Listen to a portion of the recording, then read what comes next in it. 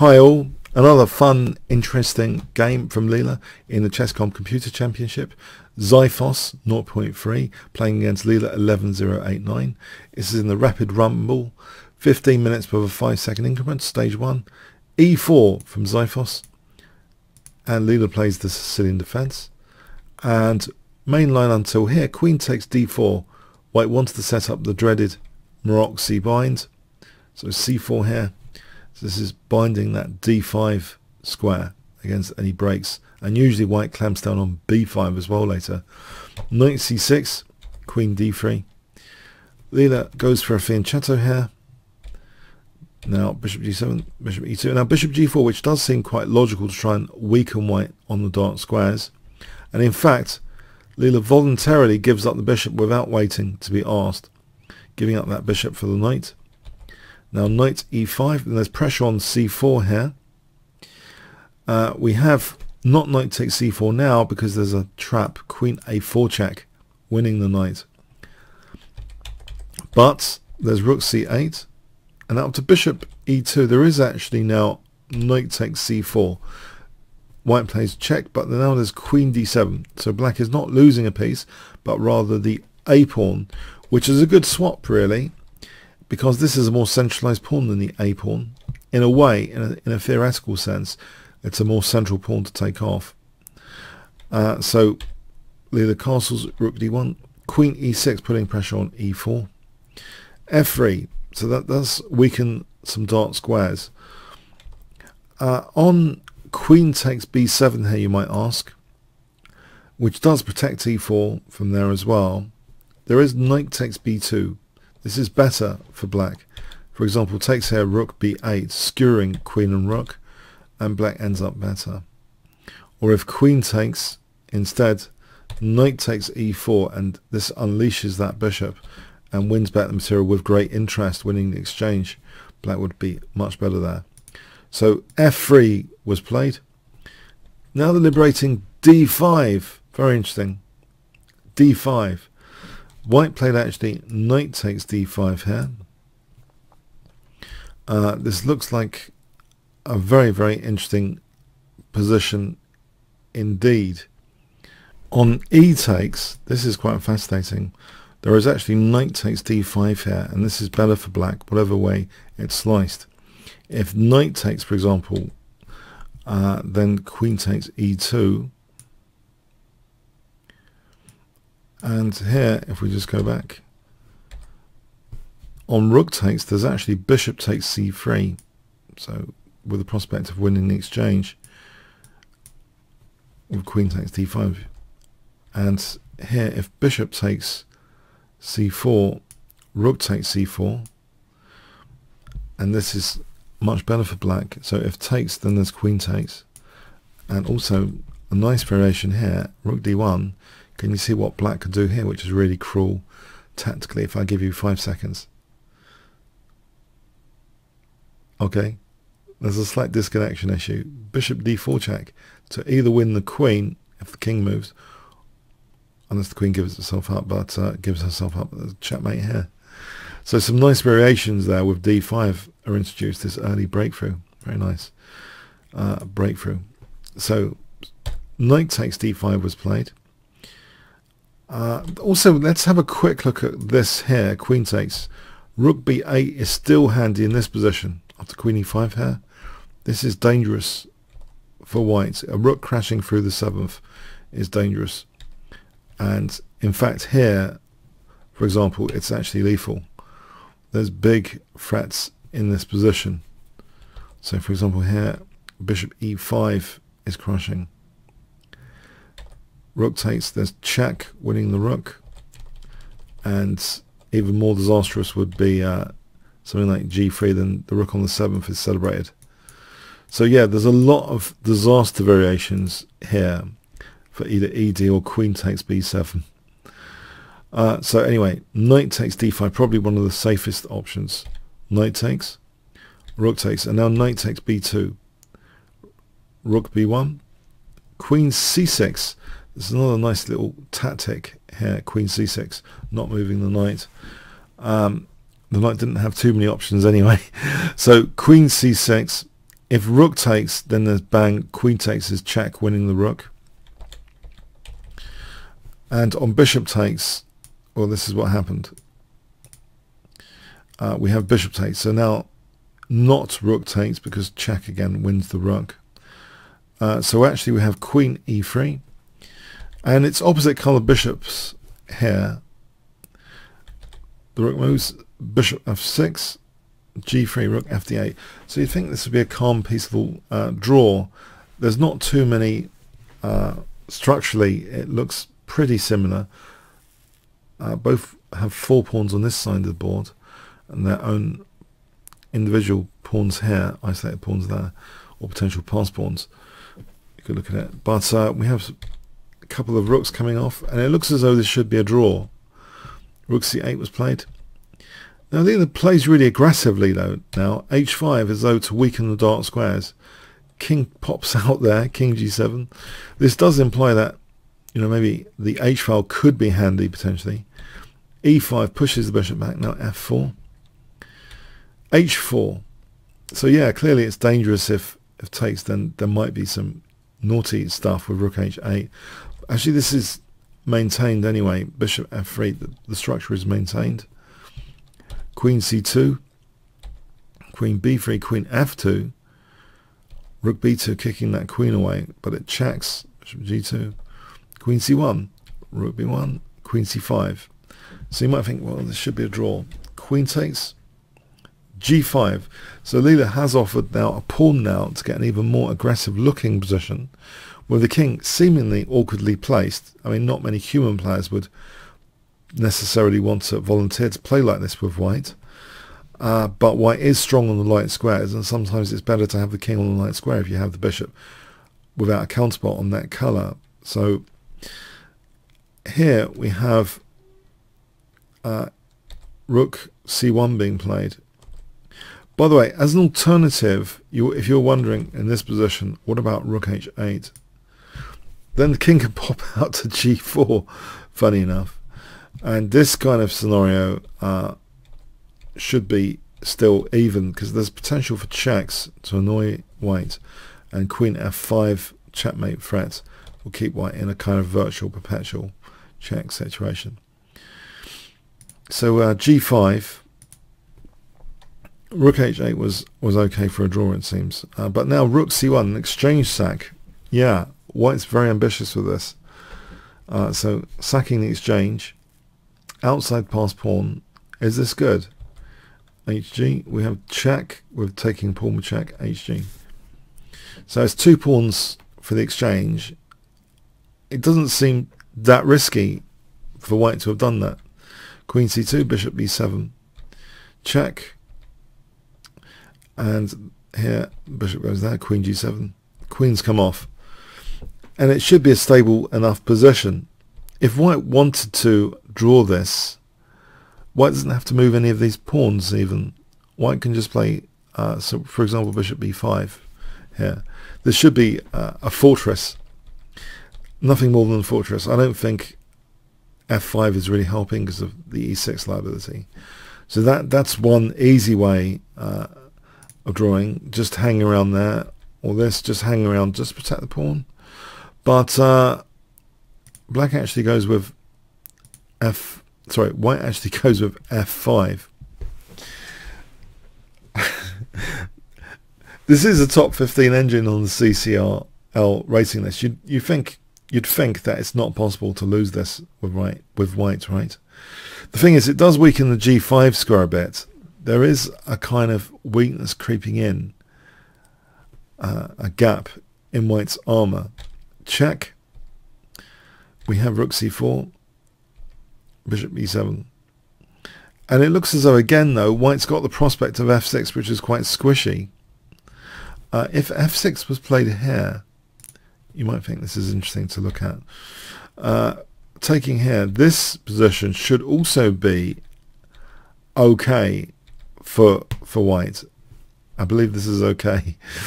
Uh, black hasn't got too many prospects. White's still a pawn up for the exchange. But uh, let's have a look at the game. Bishop b7. Uh, that gives the a4 pawn. Okay, we have g4 and a similar, seemingly a similar scenario uh, with white squishing soon with f6. It should be a draw, right? This position.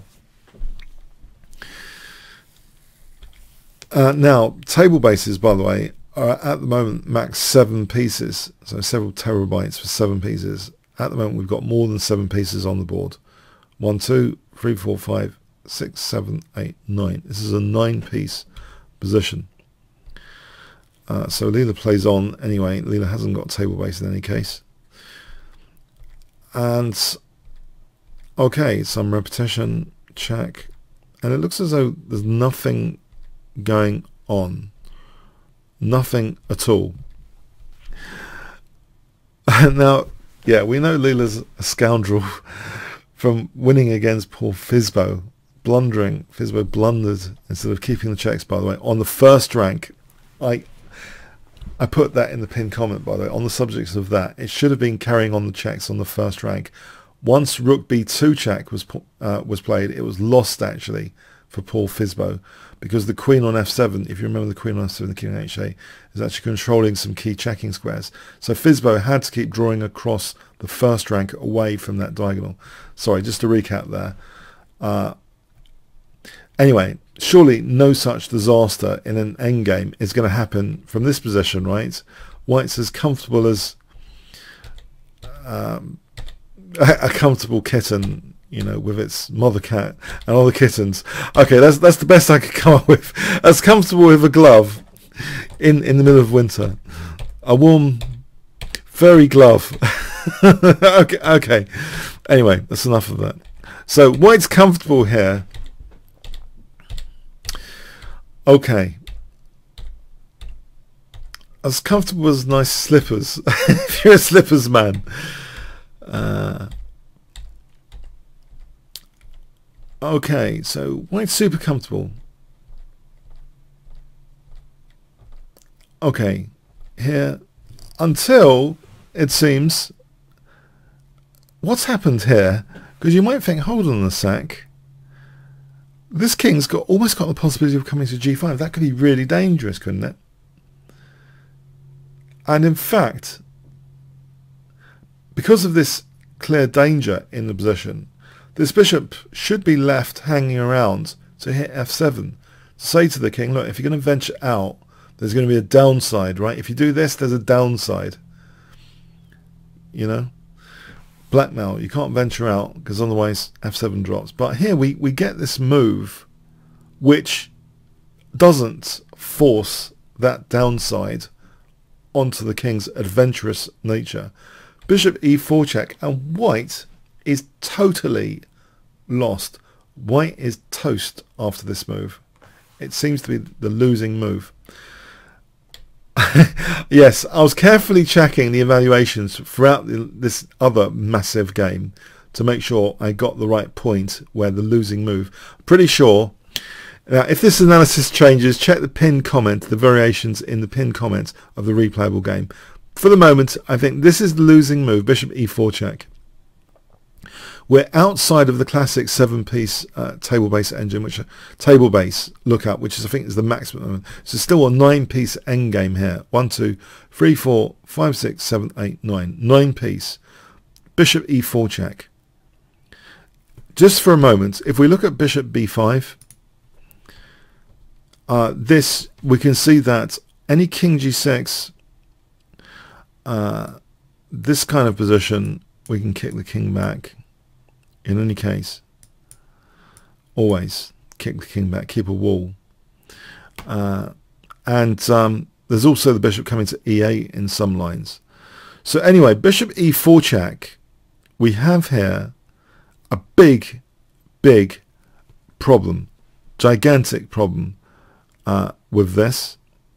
But okay it's so gigantic. Let me just show you bishop a4 as an example King g6, bishop e8, just to show this downside is to keep the king in at bay, so to speak. Bang.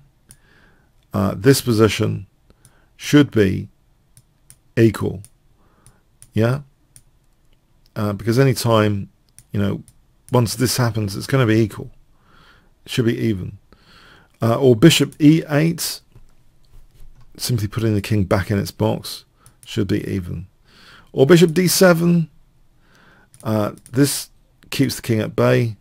And if bishop e5, king g5. Bishop e2 here is actually uh, plausible, it seems. Uh, just about, but not bishop d1. Uh, some other strange stuff. In fact, sorry, sorry, sorry. This this is also getting very, very strange my own Stockfish 9 within Chessbase, these bishop b5 lines. Uh, I think this is already something which is undesirable, in fact, uh, because of king g5. This is actually really undesirable uh, to have the king on g5. Uh, and it's it's very easy to go past the point of no return or for bugs to creep in. Now, I have to admit, and I, have shared this on, on the Discord chat, my, my Stockfish 9 and Houdini, I know they're incorrectly somehow using table base and think bishop d1 here is, is a draw coming up. Bishop d1. And it's, it's just clearly losing. It's a totally lost after you know rook takes d1. I don't know if some bugs creep into table base implementations, but yeah, it looks as though the whole uh, concept of lending the king up to g5 though is leading to fundamental trouble and we'll taste, test the software if nothing else when there was absolutely no need to. Uh, and that's Leela's finding the cracks in these top engines because everyone seems to assume that the, the table-based territory is solid. A, you have to get to table-based territory um, or somehow, yeah, if if it is going to reference it when when two exchanges happen, that bridge to using it needs to be extremely safe. But something's gone severely wrong here for bishop e4 check. So let's go into the game. King h6. This is already very dangerous because now rook c4. With this pin, black's now got the option of just transitioning into a totally won king and pawn ending because of the power of Zugzwang. So here king f3, king g5 first to give the option of rook e4 for that to be clearly winning. So now the bishop just drops back. Yeah, here, uh, so if king e3 we just take here and then king takes and this is again Zugzwang, now bang, king f4, Zugzwang, end of game. Uh, so, okay, we have this position where white now gives up g4 and the rest is just a mopping up job. But yeah, some weirdness is going on, I have to say, all round. on my local Chessbase with table bases, uh, I think this stuff is just not tested. And Leela's testing this stuff. It's just a technique win now. It's just total uh, easy with these two pawns against the bishop. So it carries on for a bit. Let's see, just for the record.